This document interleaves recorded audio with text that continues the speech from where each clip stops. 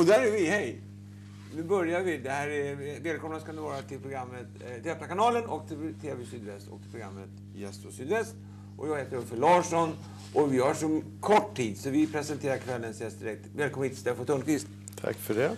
Ehm, det är så här att jag brukar, bjuda, jag, jag brukar ju bjuda hit mina gäster utav speciella anledningar. Och det är så här att nu har vi ingen redaktion. Så man kan ju göra som man själv vill. Och ringer de man själv vill och så. Och man behöver inte ens motivera för någon annan utan nu vill jag ha den personen. Och jag tycker, jag tycker du är så otroligt duktig programledare i TV4 på morgonen. Man, man blir så glad när du sitter där i rutan på morgnarna och är värd tillsammans med vilken tjej den må vara. För att, Det var kul att höra. Men du du tror inte att det beror på att det är så trevligt sammanhang? Det kommer mat in och det kommer... Nej, det, det gäller alltså att, det gäller, jag tycker det gäller för det första att, att, att, att vara programledare då, som du är då, är ju det att kunna leda ett program utan att det märks. På något sätt. Och sen är liksom att du, att du har dina små tricks och dina små gester och det här som jag, om det är någonting som är bra, fast det kan bli bättre. Alltså du, du har någon finurligt, du är som en liten buspojke. Dig. Har du alltid varit lite buspojke? Ja, fast jag tror att eh, först om man är väldigt väl förberedd Ja. och om man har eh, rätt många års eh, rutin eh, eller rätt många år i livet Ja. så vågar man Ja. vara buspojke. Om man inte tycker att det är så jävla märkvärdigt med, med, med TV. För det tycker inte du att det är? Nej, jag tycker inte att det är det. Eh, och då är jag rätt mycket, eller jag är helt mig själv kan Ja, jag säga. ja. Jag är sådär. Det märks. eh, Privat också. Ja. Eh, men jag har ju förstått det, att det, det kräver någonting att, att vara det. Om, och antingen om man är dum eller om, om det är mod eller, tror jag, en, en distans till det. Då, då funkar det. Och, och så. Men de tjejerna då, som, då, som är dina bisittare, eller din, dina programledarkollegor. Blir de skärrade av att du är så lugn? För man kan bli skärrad när personer är så lugna, att de blir nervösa. Eller? Nej, det tror jag inte. Eh, jag tycker att de blir ofta gla, lite gladare och, och, och fnittrigare och mer uppsluppna själva också. Det är, svår, det är svårare för tjejer i TV. Vi, vi killar, vi kan ju... Vi behöver inte vara så snygga eller... Som tur är, för en del av oss. Ja. Men tjejer har ofta den, den aspekten på sig. Eh, och då, eftersom jag sitter bara med, med duktiga tjejer Ja. som, som ofta ändå får höra att de ser bra ut och då blir de rädda att de har blivit att det där ska, ska betonas för mycket. Ja. Eh, och då är det nära till hands att man eh, blir lite extra tråkig. Lite stel och tråkig för att kompensera och, visa nej men jag är ingen bimbo, jag är en, en duktig yrkesverksam journalist och då kan de bli lite tråkiga. Och det är synd, för att det är ju inte samma sak att vara seriös, att vara tråkig. Man kan vara seriös och vara, och vara rolig och, och, och fnittrig. Och det, den förmågan tycker jag eh, att jag har och den inverkan på mina kvinnliga partners har jag. Att de är fortfarande duktiga och seriösa men blir lite roligare. Garvar lite mer. Ja, de blir bättre i ditt sällskap. Eh, Jag tycker det. Jag Ja. vet inte om andra tycker men jag, Ja, men jag, jag tycker, tycker att det är bättre att, att man eh, har lite kul. Och sen undrar man då lite grann, när man, när man ser den här TV4, alltså Nyhetsmorgon då, som TV4 har, har ju blivit, alltså det är en hit alltså. Det är, alltså jag, jag personligen, nu ska jag göra, nu sticker jag ut hakan. Alltså jag ser ju hellre på det än på SVT därför att eh, TV4s Nyhetsmorgon, det säger jag inte bara därför att du är här, för den, TV4s Nyhetsmorgon är lite mer gladare. Den är lite mer, även om det är negativa nyheter, så negativa, så har ni en lättsammare ton på morgnarna. Alltså på, på SVTs har, är lite gravallvarligare, vilket gör att man tröttnar fortare. Ja, jag håller med. Jag, jag strävar efter att... Jag vet ju själv när jag ligger i sängen, jag, de dagar jag inte jobbar. Ja. Då, nu för tiden så slår jag alltid på tvn direkt. Ja. Förr slår jag på radion, nu slår jag på tvn. Och om jag då möts av ett program som är i helt annan tonart än jag själv är när jag vaknar, det blir inget bra. Nej, nej. Så jag strävar efter att nästan vara som en frukostbordskompis eh, Ja. till tittarna. Ja.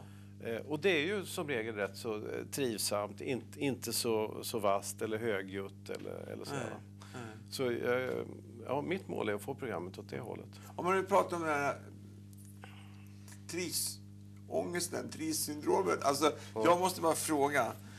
det blir ju bara 50 000 hela tiden, alltså nästan varje gång. Och jag kände så här, nej till och du kommer att köpa en liten bonde från Arvidsjaur Ja. som har frugan med sig och har chans på 2 miljoner va. Och så åker de hem med 50 000 va. Ja. Och ni kan ju inte göra åt det. Nej, en del blir jävligt besvikna. För att de har ju haft rätt kul. Va? De, de kommer ju till Stockholm eh, kvällen före. Får bo på ett bra hotell, käka middag och, och det gör vi för, för att se att de inte eh, har dött av nervositet eller att de eh, ballar ur och, och inte kommer och så. Och sen hämtar vi dem i i limousin på morgonen och så får de sitta i vårt eh, i vårt eh, café där, eh, där ju du har varit flera gånger. Oh, ja. Det är ju rätt trevligt. Ja. Och så är det någon minister och så är det någon artist och de tycker det är skitkul. Eh, så, så de flesta bryr sig inte så mycket, utan hela händelsen i, i sig är stor. Och så. Men en del blir ju rätt sura. Och jag tycker, jag tycker också 50 000 är en nitlott, för det har de ju redan fått. Ja. Så det är ju inget kul när det blir 50 000. Nu, jag har lärt mig se. Och på nollorna. När jag ser, och ser kombinationen, jag känner igen den. jag tänkte fan, nu blir det en sån där 50 000 igen. Men den stora grejen, det, det är en av de svåra ögonblicken i det här Nyhetsmorgon. Det är att prata med manliga trisskrapare. Kvinnliga är inte så svårt, va? för de, de skrapar så säger man vad har du köpt lotten? Jag köpte på Konsum i, i Järvsö. Och vad ska jag göra för pengar? Och de fortsätter att skrapa. Men när männen skrapar så säger man vad ska jag göra för pengarna? Då slutar de att skrapa och sen svarar de. För de kan inte göra två grejer samtidigt. Och du vet, då är det ju eh, producent och bildproducent skriker i örat. Va? Inga fler frågor till gubben nu, va? för vi hinner inte. Va? Det kostar ju reklampengar. Och då ska, då ska vi prata med manliga trissskraparen så att det ser ut som det är ett samtal, men det är det inte. Det är egentligen en monolog. Det är inte så lätt. Nej. Men du, alltså, om man då... Är det fler som har reagerat på det här? Alltså 50 000, får, om, de, om man skapar fram 50 000, får de det plus de 50 de har? Nej. Eller, det är bara 50. Eller Ja. 50 000 är Ja. mycket pengar, men... Jo, men det är, de får inte en spänn mer än vad de hade när de kom. Så det är en sorts eh, nitlott. Ja, jag, jag, jag tycker det är för jäkligt synd alltså. Ja. Man, man blir lite besviken. Ja, eh, Så är det. Så är det. That's life. Ja. Och sen sista frågan, när innan vi ska gå vidare här. Dessa överlämningar som görs, alltså emellan, från Ankaret till Ekonominyheter, Unni, Mm. Unni till Sporten, Sporten till Unni och tillbaka. Va? Är inte det jävligt komiskt? Alltså, ni, ni förbereder ni er, ni, du och din kollega, med, till nästa gäst under nyheterna. Mm. Men när man tittar på det hemma så är det väldigt roligt att se. Mm. Eller? Jo, ja, det tycker jag också. En Varför del, gör de så? Det måste man så. Är det en USA-grej? ja, det är det väl. Det, det görs ju hela tiden i USA så. Och, och eh, vi var väl först, tror jag, med... Jag vet, när vi, Vår premiär Ja. så gjorde jag i 22-nyheterna TV4s första insitt i historien. Alltså en reporter sitter in i nyhetsstudion, blir utfrågad av programledaren. Det är ett ganska vanligt grepp idag, men det, var, det hade inte förekommit i svensk TV. Och Jag, var ju så jädra nervös eh, vår första eh, sändning så jag visste ju knappt eh, vad jag hette. Och jag satt in i 22-sändningen och Bengan Magnusson var, var programledare. Och vi, vi hade inte tänkt hur det där skulle gå till eller hur överlämningar och, så. Och jag har fortfarande inte tänkt. Jag har aldrig skrivit i manus hur det, ja, och nu ska vi över till vädret, hej, hej hopp eller något sånt där. Men en del gör ju det. Ja. Jag kan ju se det i prompten och i Ja. manus, så, en del är repeterat. Ja. Ah, Det kan ju vara jävligt kul ibland. Ja, och sen, men sen hände det då, som heter han, vår vän Peppe Eng då. Men du kanske inte jobbade då när han sa det där fina? Att du skulle gå och skita? Alltså, jag har, jag, nej, det var, jag jobbade inte då. Nej. Jag jobbade inte, men jag, jag har jobbat vid andra tillfällen och jag har också sagt eh, egna saker. Man, men det är också på morgonen eh, så tidigt. Ibland är det nästan en, en utanför-känsla. Ja. Man sitter och tittar på sig själv och Ja. säger Fan, vilken dum fråga du ställer där, kan man tänka. Och så kommer det ut eh, någonting. Hinner man aldrig parera eller? Nej, det är det. Men, men det är ju också så att det finns ju olika toleransnivå för olika programledare. Och med, med den här lite, som du sa, vad ska vi säga, trivsamma stilen så, så kan man säga rätt mycket tokigheter utan att folk eh, blir förbannade. Ja. Om inte ankaret är nytt.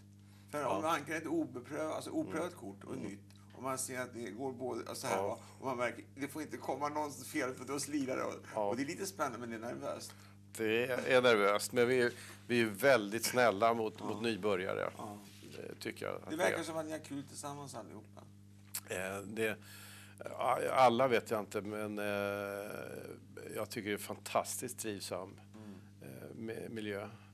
Det, det har ju gått stories här genom året att folk har blivit förbannade på varandra. Jag har aldrig märkt det. Nej, Eh. Nej. Det, det är ju kalasjobb Ja, det är så på alla arbetsplatser. Du, Steffo, din morfar betyder mycket för dig, har jag läst. Mm. Han var en speciell person, eller? Han var speciell och han var extra speciell eftersom jag växte upp i Linköping och Linköping var, eh, präglades ju rätt mycket av Jante och det var rätt eh, trist och det var tufft att sticka ut och sådär. Eh, och morfar var inte som alla andra var i Linköping så morfar fick mig att förstå att det fanns en värld utanför Linköping. Han, han dog när, när jag bara var åtta år men jag har ändå tydliga minnen av honom. Han, bodde i Stockholm så kom han ner till oss i Linköping och han hade alltid någon stor amerikansk bil och han eh, rökte cigarr och, och drack konjak på luncherna på vardagarna så här, som, som var förbjudet i, i Linköping. Han hade skinnskor som knarra och han, han levde han njöt av livet eh, på ett sätt som, som inte var så vanligt. Och jag, han fick mig i alla fall eh, att förstå att det finns en värld någonstans där ute som är, är rätt trevlig. Som jag då i, i vuxen ålder sen har, har sökt upp. Så han betydde mycket. För det, det står så här då, när man kan läsa om det, så står det så här att eh, livet är för kort för att slarvas bort, för kort för att bara äta gott på fredagar, bara älska på lördagar, röka illa rullade cigarrer och att underlåta att bollifiera popcornen framför tvn. Och eh, det är väl någonting då som kanske man kan tänka sig att det är lite, en liten gåva från morfar. Alltså just att lev livet och ha det kul, eller? Mm. Det är take, take no prisoners. Ja, det, det är det. Sen, sen är det ju en av mänskligheternas gåtor, tycker jag, att eh, det är ändå svårt att ärva den där insikten om, om livets ändlighet. Eh, vi, vi lever ju, nästan alla jag känner i varje fall, rätt högt upp i åldern så som att vi hade oändligt med tid. Eh, och slarva lite och sådär. Va? Och sen om man blir sjuk, om, nå- om någon anhörig dör eller man, man råkar i trauma på något sätt. Då, aha, okej. Eh, och de flesta lever ju eh, efter en, en svår sorg eller något sånt där, på ett klokare vis. Eh, och det är, inte, det är rätt må, många som vittnar om och säger att ja, jag blev svårt sjuk men jag, jag har roligare än vad jag någonsin har haft.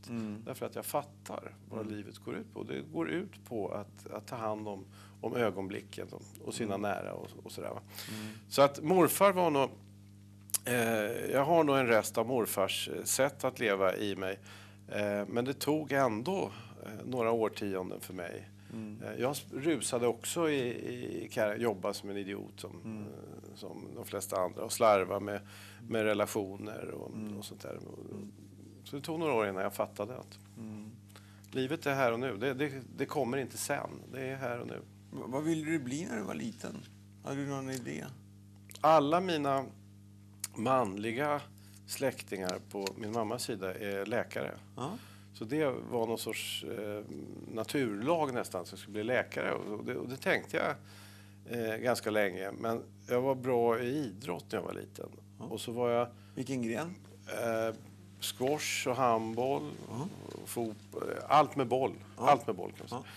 Eh, och så var jag bra i skolan. Och den kombinationen eh, fanns det också liksom en motorväg rätt in på GH. Eh, vilket jag gick. Det blev min dröm då. Så jag la läkartankarna åt sidan och så blev jag gymnastiklärare. Ja. Eh, och så var jag det i några år, så blev jag lite dålig i knäna och tänkte att nu ska jag göra något annat. Och då dammade jag av de här läkartankarna. Mm. Eh, så då sökte jag in till, eh, till Karolinska. Men min bästa kompis, min barndomsvän Lennart Ekdal på TV4 också. Han var ju redan murvel då och sa att nej, du borde prova det. Jag visste inte vad ingress var, jag visste knappt vad rubrik var. Men, jag, jag provade in till eh, Journalisthögskolan eh, samtidigt. Ja. Och sen var jag bortrest eh, i England och hade min post sänd till mina föräldrar. Mm. Och sen när jag ringde hem en gång, då hade svaret från Journalisthögskolan kommit. Och det var eh, ja, du får komma in. Och då sa jag till, till min mamma, alltså, tacka ja till det. Mm. Eh, dagen efter kom svaret från Karolinska, det hade kommit in också. Nej. Och det var en ren slump. Hade det varit annan ordning så hade jag nog eh, dessvärre varit läkare. dessvärre för patienternas skull. Och för min egen också, för jag trivs bra i det här. Men det var ren, ren slump. Ren slump. Men, men det här då, så att säga, när du då gjorde, gjorde det valet, då, när din mamma då gjorde valet, mm. att du, kom in, du tackade ja till Journalisthögskolan. Kände du dig hemma där då? Eller visst, Nej. du var som en... Nej. Nej. Jag, kände mig, eh, jag har egentligen aldrig känt mig hemma i, i något sammanhang Nej. riktigt. Men absolut inte där. Jag kommer ihåg första dagen, jag kunde inte skriva maskin heller. Nej. Och bredvid mig satt en tjej Vivian Sprängel hette hon, hon jobbar nu på en lokal Hon hade varit sekreterare i tio år. Hon kunde skriva med alla tio fingrar så här. Ja. Smatter, smatter. Ja, ja. Och vi fick någon sorts uppgift första dagen och det bara small till. Och jag minns att jag tittade lite samtidigt som jag skulle dra till. Och det var de här gamla eh, stora grejerna så att jag fastnade lite med ett finger. Och satt där med fingret och tänkte, vad fan, vad är det här? Är det här ett yrke för mig? Egentligen. Dels var det det, och dels var det alla så partipolitiskt organiserade. Och det kände jag mig främmande. Det hade jag, de tankarna hade jag slagit ifrån mig i gymnasiet. Jag hade, jag hade en politisk inriktning och en politisk åsikt och sånt där. Men att vara så så fanatiskt partipolitiskt intresserad i till exempel APK. Mm. Eh, och, du vet, de, vi skulle prata om hur man formulerar en ingress och de beskyllde varandra för att vara brunskjortor och så. Det kände jag också lite främmande till. Men, men, det var väldigt kul och väldigt bra utbildning. Mm. Var det. Jämfört med GH som är, som är rätt likartad. Va? En yrkesinriktad högskoleutbildning som, som direkt leder till ett yrke mm. så var ju journalisthögskolan oändligt mycket bättre än vad, mm. vad GH. Jag var ju en fungerande journalist när jag kom ut från utbildningen. Mm. Det, vi var inte fungerande lärare när vi kom ut från GH. Vi var fungerande idrottsledare men inte lärare. Började du då som alltså, stapplande skrivande journalist? Eller? Ja, rätt, rätt högljudd. omedelbart. Uh, nej, stapplar vet fan. Jag tänkte på skrivandet. Du, ja, lär, men jag kan fortfarande inte... Nej, du sitter så här också. Jag kör två fingrar. Ja, det gör jag med. Fast jag skriver ja. lika snabbt som jag tänker. Ja. Så det, jag håller hyggligt. Men det är dator idag? Eller? Ja. ja. Vi, vi, tyckte ju att datorn var ett hot mot, ja. mot den fria journalistiken. Vi bojkottade datorn.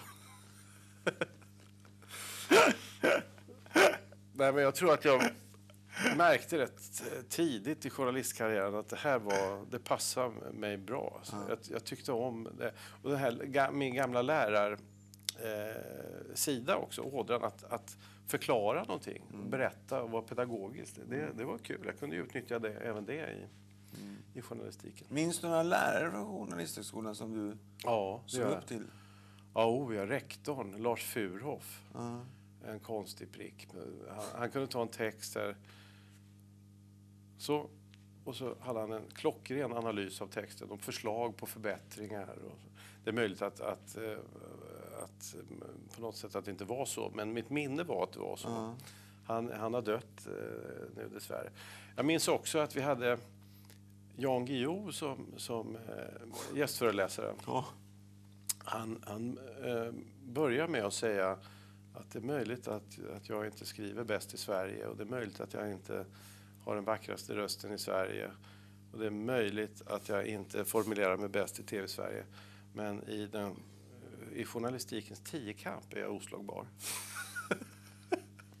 det minns jag. Det är bra. Det är ja. klockrent. Det var klockrent. Clark Olofsson gick där också när jag gick där. Ja. Jag minns att vi hade ett, en inspark. Vi gjorde någon sketch och jag hade en replik så, då hade man bytt intagningssystem från eh, tester till betyg. Mm. Eh, och då drev vi lite grann med det och sa att nu, nu är det fritt fram att komma in här för vem som helst. Kusten är Clark, sa vi.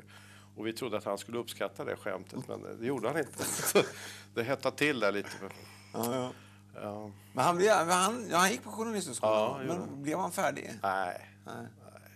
han, det sades ju så mycket om honom att han skulle vara så begåvad och det var han ju inte.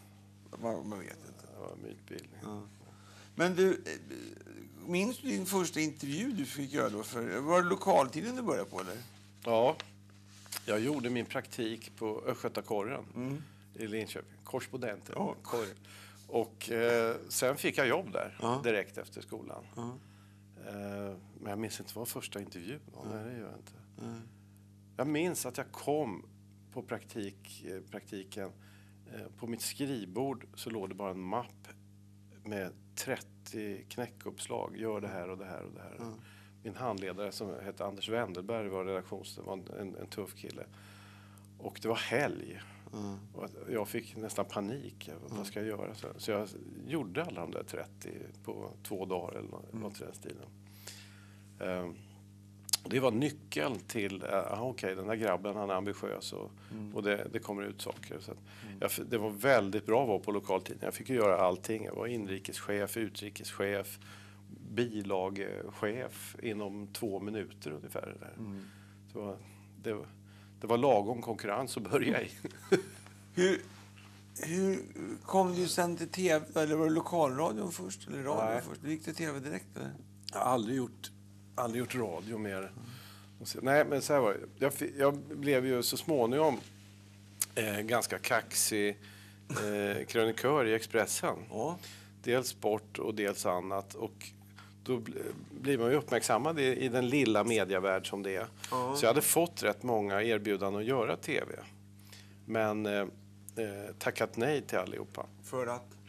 För jag tyckte inte tv var så kul. Jag och jag tycker fortfarande att den elegantaste formen av eh, journalistik är den skrivna. Ja. Eh, Ja. Det finns ju inget, tycker jag, som är så kul som när man skrivit en text som är bra. Nej. Eh, så jag tackade nej till allting. Men då var det Lasse Weiss. Han hade frågat mig, han var Aktuellt-chef, han hade frågat mig om jag ville börja på Aktuellt. Jag hade tackat nej. Eh, men han visste ju att jag var bästa kompis med Lennart Ekdal som jobbar på Aktuellt. Då. Så när han, Lasse Weiss fick jobbet att bygga upp nyhetsredaktionen på TV4. Och det här var ett år innan TV4 startade.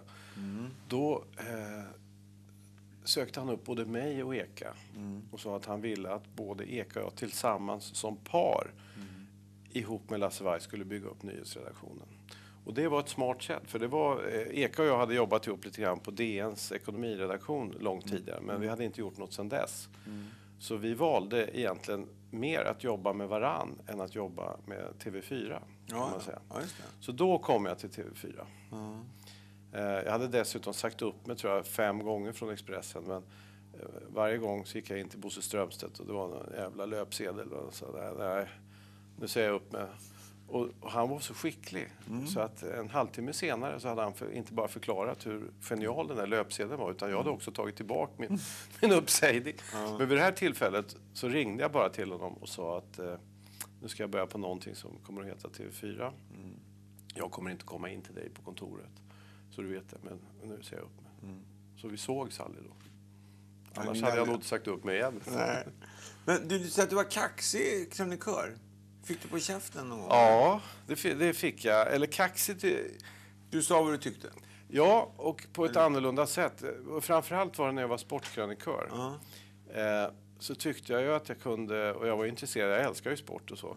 Men jag tyckte jag saknade eh, sporten i ett sammanhang. Så jag skrev om andra saker i, i sportkolumnen då och då. Och det var inte alla som gillade. Och jag var rätt ung för att vara krönikör och det kom ut att jag var rätt välbetald och sådär.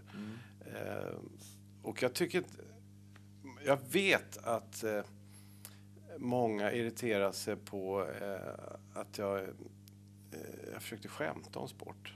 Eller inte skämta, men med någon sorts distans. Ungefär samma distans som, som jag har i tv idag. Hade jag i, i mina kröniker. Och det uppfattades som, som kaxigt. Det är snarast det. Ja, jag, jag var mordhotad och eh, eh, illa sedd i, i många läger. Men då vet man att man har gjort det bra. Att det, att det tar. Ja, det, jag, jag valde att se det på det sättet också. Det, det kanske inte alltid var så, men, eh, eh, men sport... Eh, alltså, det finns ju en, eh, rätt många dårar där i, i, i sportpubliken. Jag tänker på Lasse Andrell då, som då började som nöjesjournalist, nöjeskrönikör och sen jobbar han ju på sporten. Men, men ja, jag tycker han har blivit ganska snäll. Och han har blivit rätt snäll i och med att han sitter och ser vissa dagar också och säger som han tycker. Som han, gör. han är, alltså, och nu när han ska vara elak så tror man inte på att han är elak. Nej. Det är en fara i det där. Ja, det är det. Om man nu vill vara elak så är det ja. Jo, men de- den här... Att byta ämne. Min efterträdare som sportkrönikör på Expressen, Mats Olsson, han skrev ju också musik först och sen eh, gick över till sport. Men det är, ju, det är ju problemet med... En krönika förväntas ju ha, eh, vara subjektiv. Det är ju själva idén med krönikan. Man tvingas leverera och formulera en åsikt om någonting. Och i sportvärlden, om man har en åsikt om något så finns det alltid någon som har motsatt åsikt eh, vid varje givet tillfälle. Och en del tar ju väldigt allvarligt eh, eh, på det. Det räcker att man tycker att i den här matchen så spelade eh, AIK-spelaren inget vidare. Så får man hela Black Army emot sig. Alldeles oavsett hur det var i sakfrågan. Så det, det, vill, man, vill man skapa konflikter så, så är, är sportkrönikan eh, ett, ett bra medel för det. Fin- Finns det några tillfällen i livet, i ditt yrkesliv just nu, när du känner att du skulle att du längtar tillbaka till Östgöta-Kuriren? Nej, Nej. nej. Du börjar... jag tror inte det. Nej. Du, jag tänkte på de här raderna som jag läste här förut. Alltså, det, det får mig att tänka på Errol Flynn. Jaha. Jaha. Errol Flynn, det, det är gamla skådisen där. Och han var ju en livsnjutare. Och, och Han kände att han hade ingen lust att bli längre, än- eller, äldre än 50 år. Han, han skrev, slutade sina memoarer med att jag ser att solen går ner bakom horisonten och jag är inte så säker på att jag har lust att se den gå upp igen. Och eh, det här med, när du då eh, verkligen sätter fart på det här med att, att, att eh, forska det här med vad man njuter av med sprit och sånt till exempel. Det är ju ganska, alltså jag har ju lärt mig att tycka det att, att jag som är alkoholist och tycker liksom att människor som kan dricka, de ska dricka. Människor, människor, människor som får dricka, de ska dricka. Och människor liksom som kan använda spriten på rätt sätt. Och, och då tycker folk så här att när de hörde att jag skulle intervjua dig, att fråga då Steffo hur han kan glorifiera drickandet. Men det är ju inte det du gör. Nej, nej. Utan vad du gör är att du tar reda på och, vad, talar om för oss vad sprit är och olika grejer. Hur, hur, hur, kom, uppväxt, hur kom det intresset upp? Alltså det där med spriten, alltså hur du ska tala om för oss. På, på det här yrkesmässiga sättet så skulle jag göra en eh, tv-dokumentär med Tore Wretman. Han, Ja. han bodde nere i Frankrike. Ja. Och då eh, skulle vi åka till Charente-distriktet som det heter, där man gör konjak. Och, och, så. och jag skulle göra vanlig research, läsa på om konjak. Eh, det fanns inget att läsa på, det fanns ingen bok skriven eh, om det. Och då började jag titta, eh, är det sant? Fin- det, finns det ingen bok om konjak? Nej. Finns det ingen bok om whisky heller? Nej. Det visade sig att det fanns inget bejakande, förklarande eh, om sprit skrivet på svenska språket. Vilket ju var fullständigt obegripligt. Ja. Och då fattade jag beslutet att då gör jag det själv. Ja. Så jag skrev en bok eh, som hette Sprit. Mm. Eh, och det väckte intresset, eh, detaljintresset. Eh, och det här är ju nästan 20 år sedan. Mm. Eh, och sen dess har det blivit fler böcker och, och tv-serier. Mm. Och det har blivit halva mitt yrkesliv nu att åka omkring och berätta. Och jag upptäckte då att det blev, livet blev roligare. Mm. Och eh, jag krökade mindre Mm. och jag var mer selektiv med, med det jag drack och det blev mycket godare. A- Allting blev bättre. Mm. Och då tänkte jag att det, blir det för mig så blir det för, för andra också säkert. Och det har ju visat sig att det, eh, det är så. Och jag kan ju inte gå fem minuter på stan innan någon stannar mig och säger du har lärt mig eh, njuta av whisky. Och jag ser i deras ögon att, att det betyder någonting. Eh, Jag har ju min journalistiska gärning varit med om att få ministrar avsatta och lagstiftning förändrad och sånt där. Det känns inte som att det betyder lika mycket. Nej. Det här känns som en mission för mig, att förklara sammanhang. Därför att insikt om, om, om vi nu hade suttit med eh, ett glas whisky och jag hade berättat om det och, och insikten vi hade fått om det glaset förändrar hela upplevelsen av det. Ja. Och nästan alltid till det bättre. Ja. Och det är ju skitkul. Och det är ett, det är ett, någon sorts eh, idé som, som jag sen har läckt över till andra ämnen också. Eh, De böcker jag skrivit nu handlar inte bara om sprit utan det är om, om mat, om konst, om eh, bilar, om design, om färger, vad det nu är.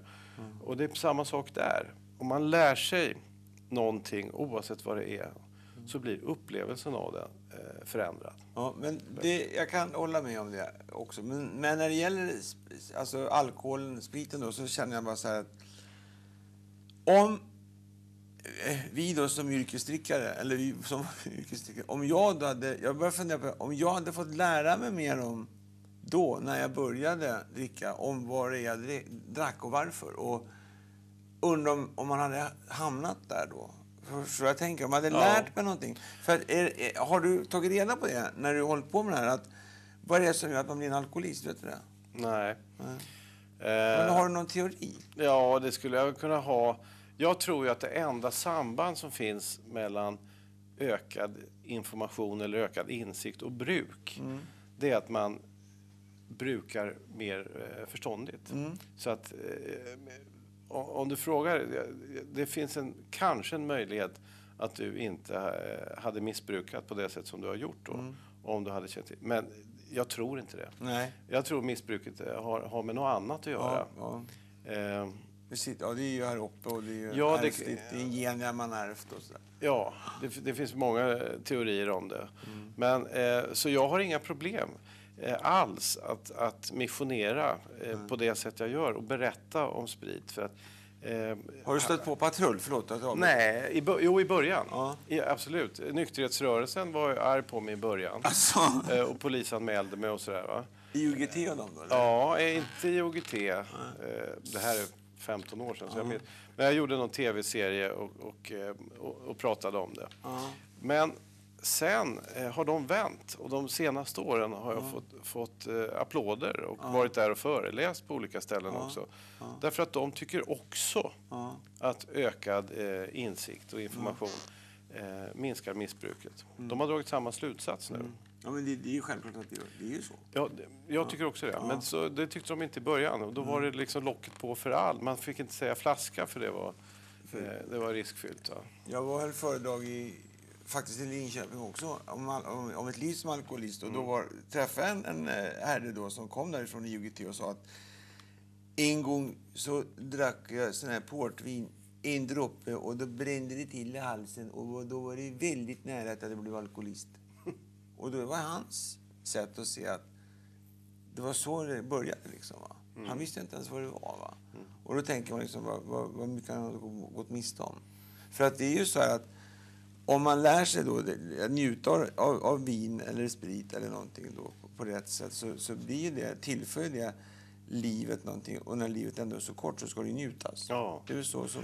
Det, det, man kan ju formulera det där i någon sorts eh, matematisk formel också. Därför att njutningen förutsätter ju eh, en, en begränsning.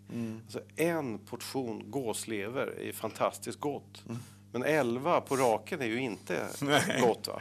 Och, och det gäller ju eh, allt. Eh, och det gäller även sprit. Men det gäller inte bara sprit, utan det gäller alla njutningar. Eh, det måste finnas något salt i, i livet eh, för att det ska bli riktigt njutbart. Eh, Frånvaro av njutning eh, är också viktigt. Det, vad heter han, eh, han som åkte runt i Lort, Lort Sverige? Vad heter han? Lort, eh, Ludde hette han va? Ludde som åkte omkring på 30-talet och gjorde Ja. ett program för radion.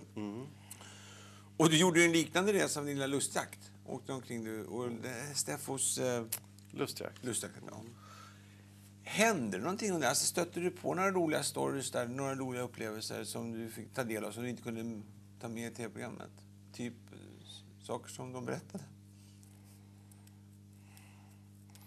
Jag minns en inspelning... Eller, du, du tänker på någon nu? Eller? Nej, jag vet inte. Får se om det blir något. Ja.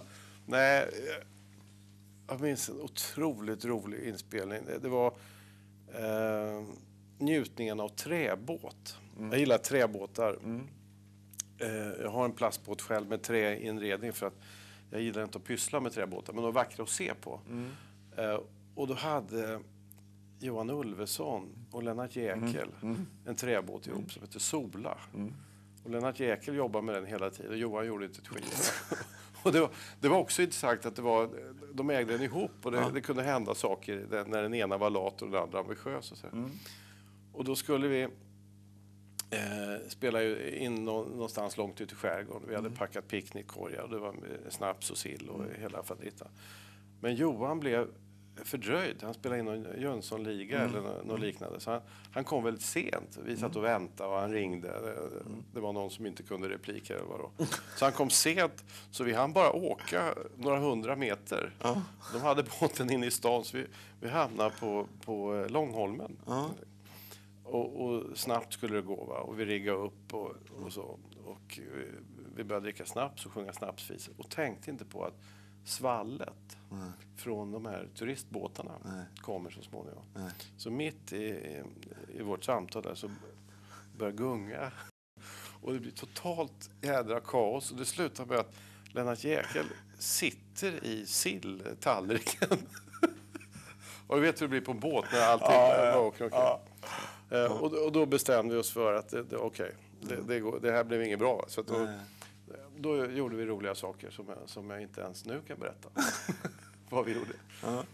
Du, eh, om man nu tänker så här, jag tror vi är lika gamla du och jag. Du är 56. Ja. ja.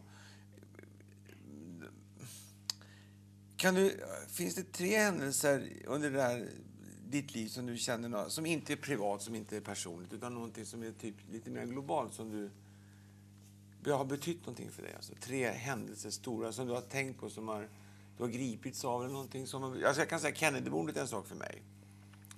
När mm. John F Kennedy blev mm. mördad då, 63, då tänker man liksom, hade inte han blivit skjuten så hade det hänt, varit lite, sett lite annorlunda ut i världen.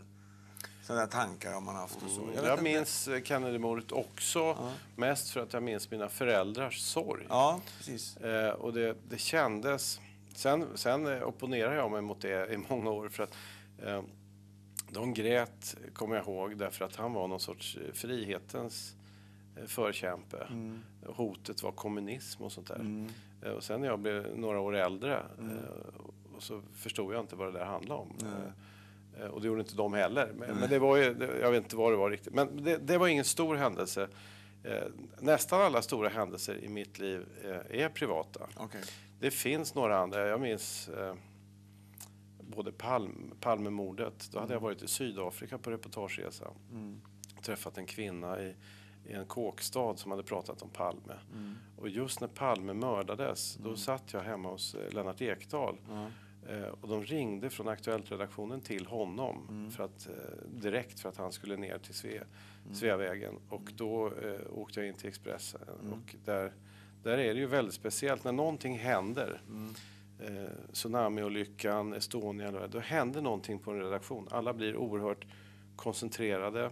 Alla har någon sorts privat eh, och eh, yrkesmässiga förhållande till, till händelsen som, som inte är i vardagen. Utan mm. det, det är någon alldeles speciell stämning som är fascinerande och tragisk och, och, och läcker. Alltså det, är, det är en blandning av olika saker. Det, det är känslor som man tycker är förbjudna, man tycker man är med om något historiskt samtidigt som det är oerhört tragiskt. Mm. Och det är svårt att sortera känslorna eh, och så.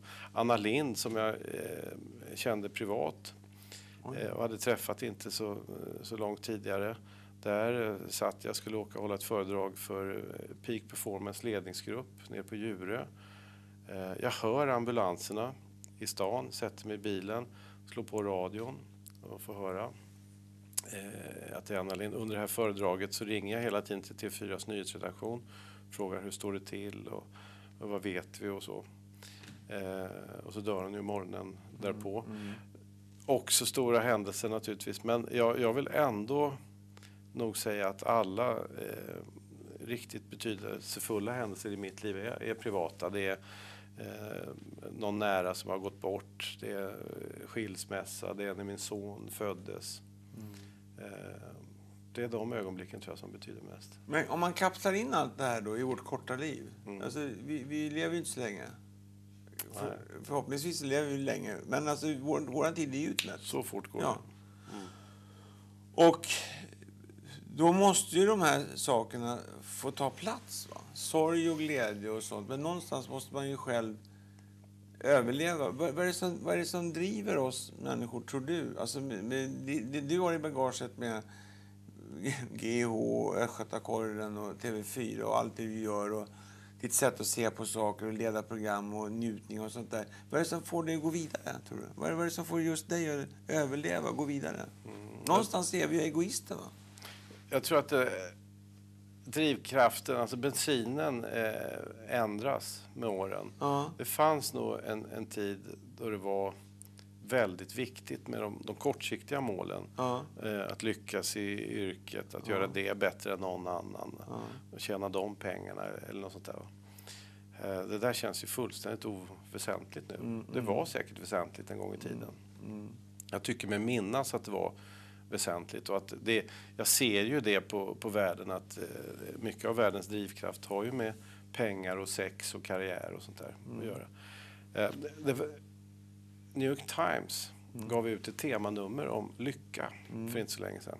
Mm. De hade samlat all världens kunskap om lycka mm. eh, och, och, gjort en sorts procentsats. Vad är det som, som ger oss lycka? Mm. Och då visar det sig att just den typen av, av saker som, som eh, fina titlar och mycket pengar och sånt där. Det kan inte ge oss mer än 6% lycka. hade de räknat ut.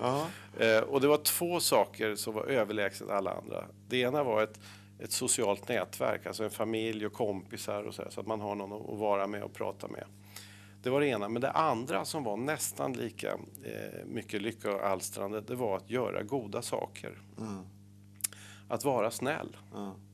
Att bidra med någonting. Mm. Och det tycker jag med, med, stigande ålder, att det kantrar mer, drivkraften kantrar mer åt det här att, att värna eh, det sociala nätverket och göra goda saker. Mm. Det andra blir ju jävligt ointressant. Mm. Så det, det kanske är lätt att säga när man har samlat på sig mm.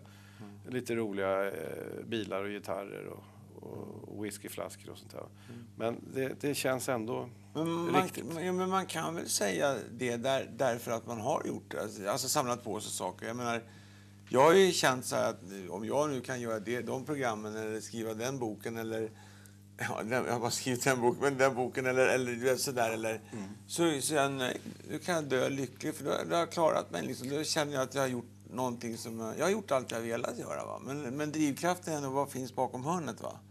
På något sätt. Då. Men att, att just det här att vara snäll. Mm. Att vara snäll mot andra människor. Och, alltså det, det finns för få snälla människor. Mm. Tycker jag. Och jag tycker att man också med stigande ålder ser till att eh, ta bort dem ur sin omgivning som inte är snälla. Ja, energitjuvarna? Ja. ja. Man orkar inte med det. Nej, ta bort dem. Ja. Jag kommer ihåg med en av mina allra bästa vänner, eh, Louise Hofsten, som ja. blev sjuk i MS. Ja. Så pratade vi om det. Eh, vi, vi pratade om allt, allt, allt, allt, allt, men också om det. Mm. Och för henne var det ju allvar på ett annat sätt än, än för mig. Mm. Därför att om man möter för många energitjuvar som MS-sjuk, mm. då blir man sjuk. Man blir fysiskt sjuk själv. Ja. Det triggar igång skoven och så. Mm. Så hon var av tvång eh, tvungen att ta bort folk som, som eh, stal hennes energi. Och mådde så oändligt mycket bättre av det på alla sätt och vis. Mm. Och det var en ögonöppnare för mig också. Jag behövde ju inte av fysiska skäl göra det. Men eh, eh, gjorde det ändå. Man har inte tid med med tråkmånsar och, och mucktyper. Nej, nej, nej då, då är livet för kort. Då är livet för kort. Har journalistiken... Äh, säg så här. Ser du dig själv som journalist, eller som programledare eller som livsnjutare? Vad, vad tycker du att du är? Uh, journalist. Är du det? Ja, jag tycker jag är livsnjutare också. Uh -huh. Livsnjutande journalist. Ja, och programledare vet jag inte vad det är om det inte är, finns en, en journalistisk idé. Jag, jag är kass på att läsa manus. Eh, alltså som en del ja. programledare är väl, i, i nyheterna så är oerhört duktiga på att läsa manus. Det, det, kan inte jag. Eh, jag, jag, skriver manus och så mm. kommer jag ihåg ämnet och sen så mm. pratar jag rätt. Jag, jag vet inte om jag är någon riktig programledare egentligen. Mm. Så jag tycker det, det jag gör som programledare är, är journalistik. Det är murvel. Ja, fast, ja, men då kan man säga så att när, när det, det finns ju då Anders som du brukar sitta då, som är uppe i åren nu. Mm. Han är också, alltså vad jag menar är att när, när ni då som sitter där är glada, alltså ni, ni är fria, det är lite löst i kanterna men ändå med lite salt under däcken. Alltså det, det slidar till men det får fäste på något sätt. Och man märker att det här är ingen farligt. Man kan liksom, man kan slappna av och titta med kaffekoppen så här va. Men när det kommer någon ny, då vet man liksom att, alltså det, det där är ju själva finessen tycker jag. Mm. På något sätt. Är journalistiken, har den blivit annorlunda idag än när du började? Ja. Etiken är borta eller? Alltså många av de journalistiska produkterna är annorlunda.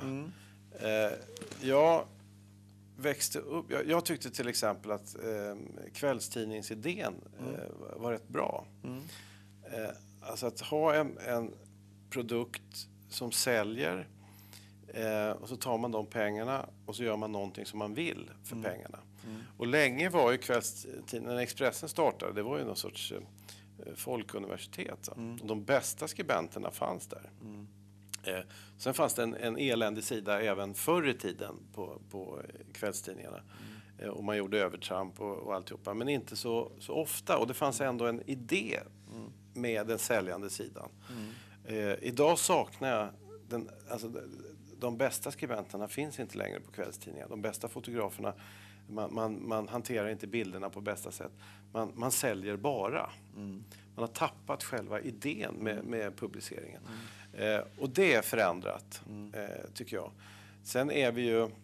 Sen har det varit en glidning i hela media, inte bara kvällstidningar utan även, även vi, tv-redaktioner och mm. alltihopa, att, att vi är snabbare på att eh, publicera namn på, på eh, misstänkta. Vi, det finns en koppling mellan tv-utbudet och tidningar som inte fanns. Vi har ju program på TV4 som eh, Let's Dance till exempel, eller Idol eller så. Det, vi, vi föder ju eh, tidningsredaktioner med material och de bygger upp eh, tittarsiffror åt oss. Det där samspelet fanns inte tidigare. Så det är annorlunda. Men jag tänker nu på, jag var igår var jag ute med Douglas och Lennart och Julia, mina hundar.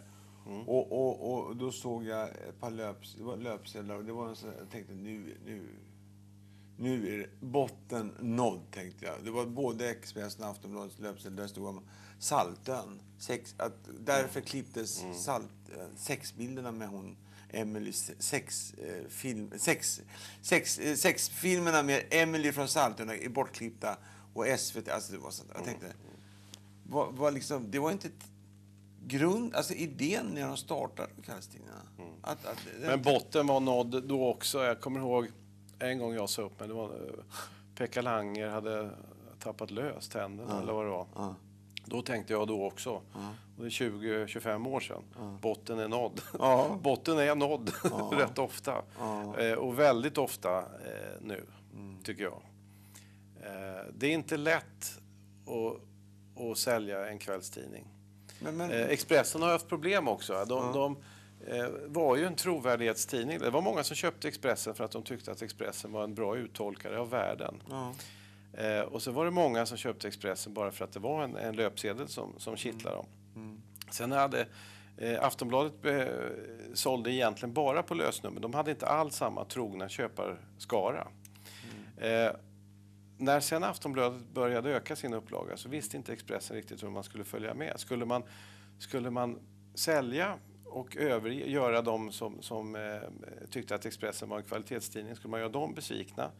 Eh, eller skulle man ha tråkiga löpsedlar och göra lösnummerköparna besvikna? Och man gjorde varannan dag, så båda grupperna blev besvikna. Och upplagan gick eh, i källan. Och hur tar man sig upp därifrån? Eh, det de försöker nu med, med att skrika högst på löpsedeln är, är nog inte så gångbart i, i längden, tror jag.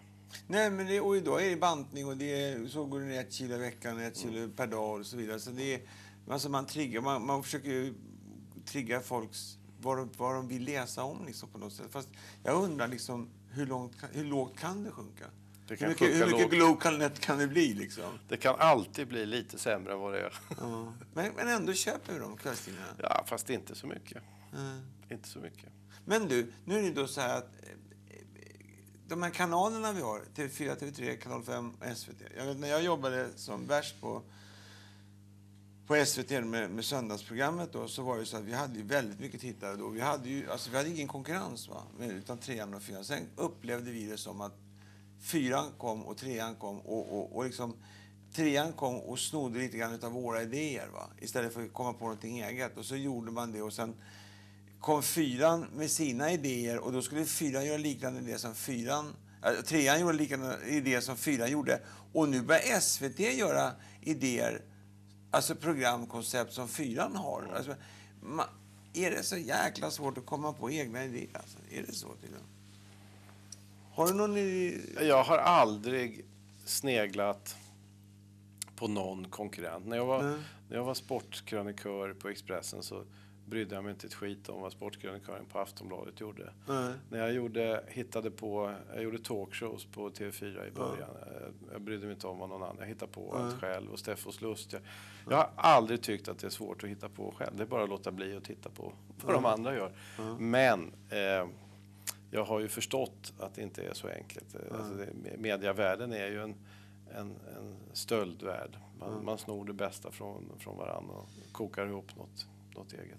Om du, oh, förlåt, om du, om du nu skulle bli erbjuden att bli chefredaktör på Expressen, skulle du ta det då? Nej, Och inte Aftonbladet heller? nej, TV4-chef? nej. Systembolagschef? Nej. Nej men jag, var, jag har varit eh, chef. Ja. Eh, jag var eh, eh, chef för, för Expressens redaktion under Kristina Jutterström. Ja. Eh, och bestämde mig då, och jag, ty, jag tyckte inte att hon eh, hade koll på hur man gör en tidning. Eh, och jag hade inte så bra koll på hur man var ledare heller tyckte jag. Eh, och då bestämde jag mig för, och det är väldigt svårt att vara nummer två i en hierarki när man eh, in, inte är enig med ettan. Och den risken löper man ju om man ingår i en organisation om man inte är nummer ett själv. Jag bestämde mig då, när jag sa upp mig därifrån, att jag kommer inte ingå i en organisation. Utan jag kommer vara en fri eh, gubbe. Om jag inte är nummer ett. Eh, så sa jag, tänkte jag då. Eh, och, och det tänker jag fortfarande. Det är bara det att jag undrar vilket nummer ett-jobb som skulle locka. Eh, inget av dem du räknade upp. Nej. TV4-chef skulle jag inte klara av, för det, det, det är för knepigt. Eh, några av de andra tror jag skulle klara av, men det skulle inte vara kul. Nej. Vilka, förstår vilka konflikter man hamnar i. Och, och ledsna medarbetare och ledsna läsare. Och, eh, oh. Nej, det, det, det är en förgången tid. Ja, det får vara. Ja. Du, om, man, om du tänker då så att om, om du nu kommer hem en eh, fredagkväll eller en torsdagkväll eller en onsdagkväll och, och, och ska njuta. Eller en tisdag förmiddag. Ja. Det är en av mina poänger. Ja. Att eh, man ska inte vänta till fredagskvällen med att njuta. Nej. Eh, och äta en massa skitmat eh, Nej. hela veckan och sen ladda upp bara för en festmåltid. Det är lite tråkigt. Jag kör, eh, det kan bli lite gåslever även på tisdag lunch. Ja. Och dricka till det. Och det kan bli snaps också. Det kan det bli. Ja, ja. Och sen en cigarr. Absolut. Ja. Jag brukar, när jag går ut med min hund, jag har ju världens sötaste hund. Va? Ja, jag tänkte vi skulle prata lite om hundar. Ja. Ja, och sen när jag går ut med min hund så brukar jag antingen eh, ta en cigarr eller en pipa. Och så vet jag om jag tar en, en eh, robusto, eh, då vet jag det räcker en timme. Va? Då, då kan jag gå den snurren. Tar jag en lite mindre pinne och kör Humlegården runt på. Hund, hundar. Jag har alltså då tre hundar.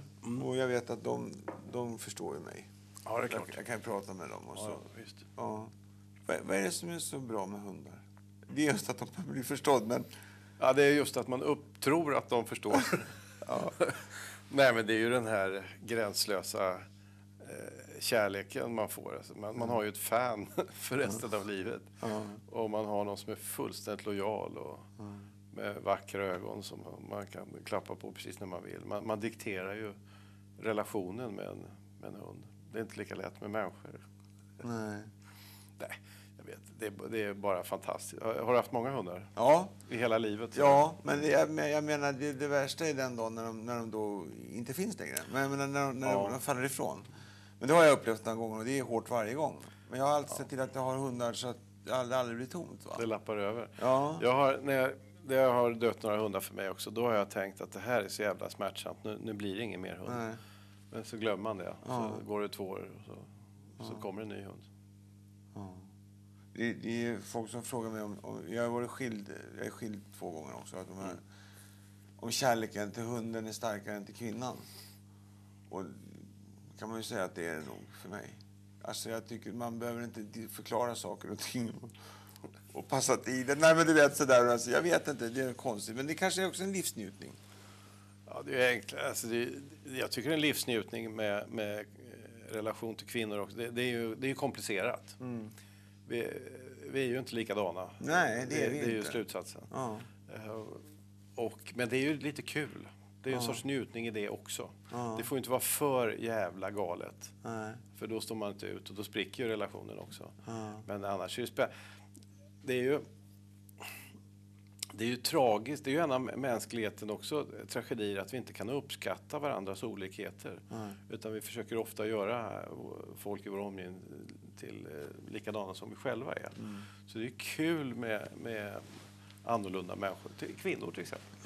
Ja, va- varför måste man måste förklara? Jag vet inte, jag, jag kanske är helt ute och cyklar nu, men jag, jag tycker att det, det kan vara... Hundarna är bra.